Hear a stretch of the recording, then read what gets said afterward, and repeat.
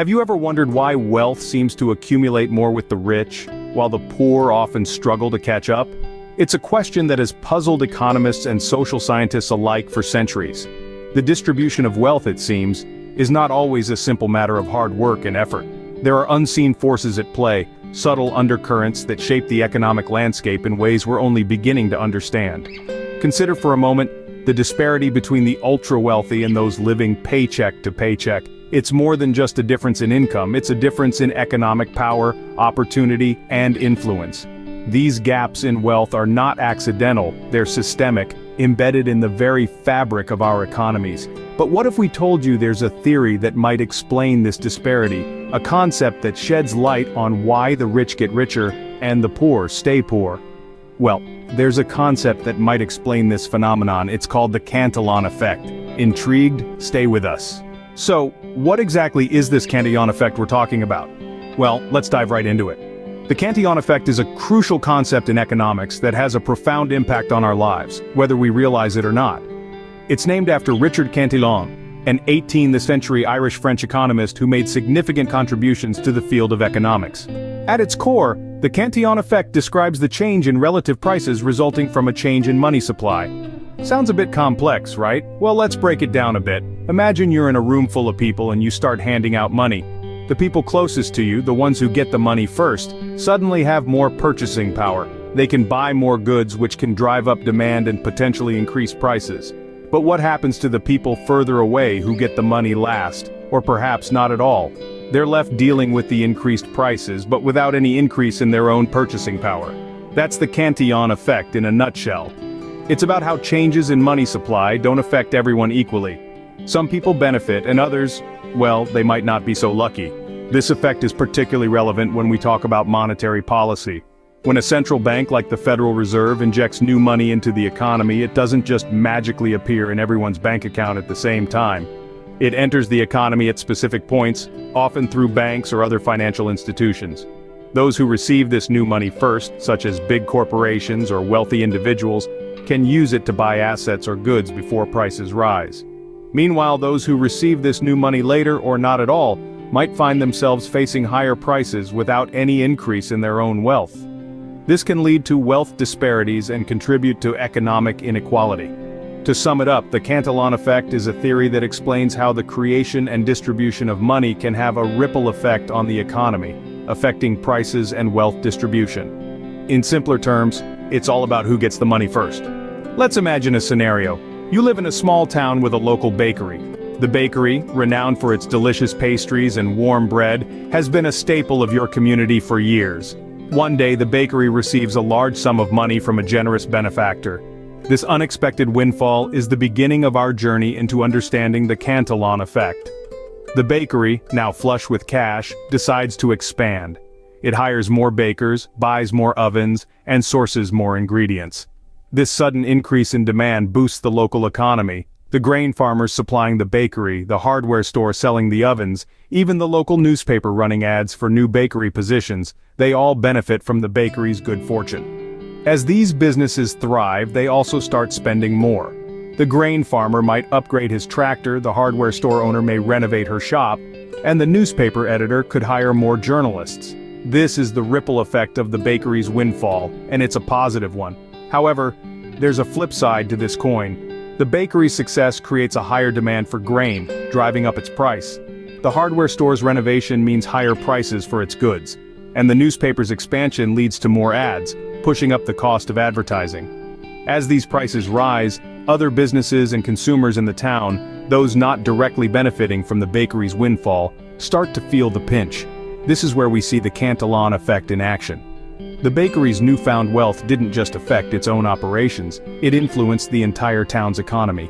Those closest to the bakery, the grain farmer, the hardware store owner, the newspaper editor, they profited. But those further away, the other businesses and consumers, they faced higher prices without any corresponding increase in their income. And what about the benefactor who gave the bakery the money in the first place? Well, he's part of the Cantillon effect too. His decision to give the money to the bakery instead of say, the local school or hospital, shaped the direction of the town's economy. It's a clear example of how the initial injection of money and where it's injected can have far-reaching consequences. In essence, the Cantillon effect highlights the uneven distribution of wealth that can occur when money is injected into an economy. It's not just about who gets the money, but also about who gets it first. Those who receive or can access the new money early, like our bakery, can benefit greatly, while those further down the line may actually be worse off. So, as we can see, the bakery's windfall has ripple effects throughout the town's economy. That, in essence, is the Cantillon effect. Now that we've seen the Cantillon effect in action, let's unpack the key points. Firstly, the Cantillon effect is a theory that explores how changes in the supply of money can impact wealth distribution within an economy. When the supply of money increases, perhaps due to government policy or central banking decisions, those who receive the new money first stand to benefit the most. They can invest or spend that money before the overall prices in the economy have had a chance to rise. This leads us to the second point. The effect is named after Richard Cantillon, an 18th-century economist, who noted that the impact of increasing the money supply isn't evenly distributed.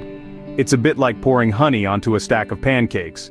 The top pancake gets the most honey, while those further down get less and less. In the same way, the first recipients of the new money enjoy the most benefits, while those further down the chain see less advantage and perhaps even suffer as prices rise. Third, the Cantillon effect plays a significant role in economic inequality. When new money enters the economy, it can create a wave of inflation. However, this inflation isn't evenly distributed. Those who receive the new money first can buy goods and services at existing prices. But as the new money filters through the economy, prices start to rise. Those who receive the money later, or not at all, face higher prices without a corresponding increase in their own wealth. Finally, it's important to note that the Cantillon effect isn't an isolated phenomenon. It interacts with other economic factors and policies. For instance, it can amplify the effects of fiscal and monetary policies, making them more beneficial for some and less so for others. So, to sum up, the Cantillon effect is a crucial concept that helps explain why changes in the money supply don't affect everyone equally. It shows how such changes can benefit those at the top of the economic ladder, while those further down may find themselves worse off. In other words, the Cantillon effect is a major player in economic inequality. So, what does the Cantillon effect mean for you? Well, let's delve into that. You see, the Cantillon effect isn't just an abstract economic concept. It has real-world implications that can impact your lifestyle, your financial decisions, and even your future. Imagine you're a worker in a factory, your paycheck stays the same, but the prices of the goods you need to buy keep going up. Why? Well, the Cantillon effect might be at play. When new money is introduced into the economy, it doesn't reach everyone at the same time. Those who get it first, usually the banks and big businesses, benefit, while those who get it last, like our factory worker, see prices rise before their wages do. Now, let's consider you're a saver.